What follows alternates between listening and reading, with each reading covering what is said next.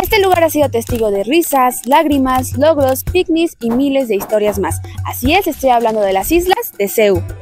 En los espacios públicos de la Universidad Nacional Autónoma de México se fomenta la vida recreativa tanto de los estudiantes como de los visitantes, y uno de los lugares más destacados de la máxima casa de estudios son las islas de Ciudad Universitaria. Son ideales para realizar actividades recreativas, educativas y hasta mítines políticos.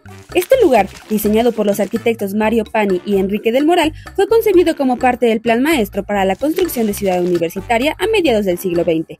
Conocido como el Campus Central o Gran Plaza, su diseño inicial estaba destinado a ser un espacio que fomentara la convivencia y el encuentro de la comunidad estudiantil. Las islas de Cebu debe su nombre a los cuatro montículos que la caracterizan. Aquí se han llevado a cabo conciertos, talleres recreativos, proyecciones de películas y claro, aquí se hacen los tradicionales picnics. Y no es todo lo que puedes encontrar en Ciudad Universitaria, pues uno de sus sitios emblemáticos también es el espacio escultórico. La idea de crear este espacio surgió en 1977 por el escultor Federico Silva, quien tenía el propósito de integrar las artes plásticas y el movimiento escultórico geométrico de México en un entorno natural.